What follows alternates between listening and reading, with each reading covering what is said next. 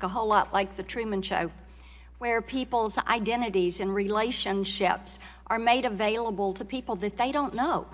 And then that data is crunched and it is used, and they are fully unaware of this. So I've got to ask you I think what we're getting to here is who owns the virtual you? Who owns your presence online? And I'd like for you to comment who do you think owns an individual's presence online? Who owns their virtual you? Is it you or is it them?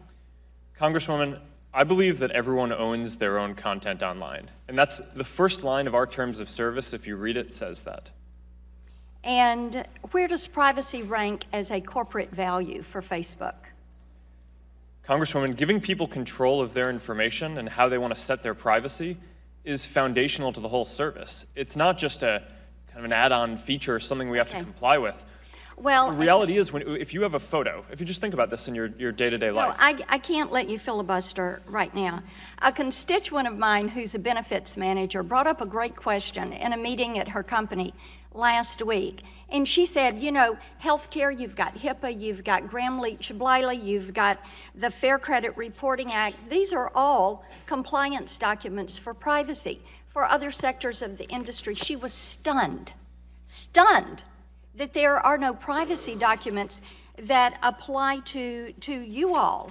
And we've heard people say that, um, you know, and you've said you're considering maybe you need more regulation. What we think is we need for you to look at new legislation.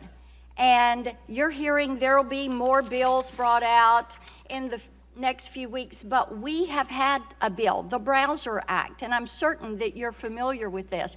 It's bipartisan, and I thank Mr. Lipinski and Mr. Lance and Mr. Flores for their good work on this legislation. We've had it for over a year, and certainly we've been working on this issue for about four years.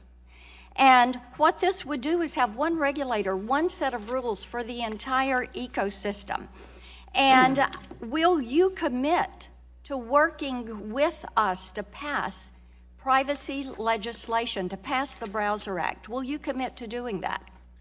Congresswoman, I'm not directly familiar with the, the details of, of what you just said, but I certainly think that Okay, regulation in this get- area. Let's get familiar with the details. As you have heard, we need some rules and regulations. This is only 13 pages. The Browser Act is 13 pages, so you can easily become familiar with it, and we would appreciate your help. And I've got to tell you, as uh, Mr. Green just said, as you look at the EU privacy policies, you're already doing much of that if you're doing everything you claim, because you will have to allow consumers to control their data, to change, to erase it.